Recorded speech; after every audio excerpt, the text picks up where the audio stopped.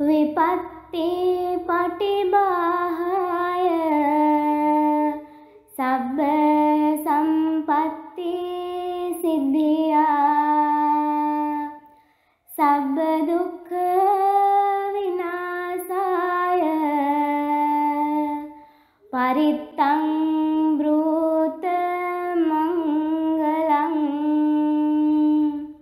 මෙහි අර්ථය ස්වාමීනි ඔබ වහන්සේලා විපත්ති වැළැක්වීම පිණිසත් සියලු දුක් නැතිවීම පිණිසත් සියලු සම්පත් ලැබීම පිණිසත් යහපත් වූ පිරිත් ධර්මයේ දේශනා කරන්න.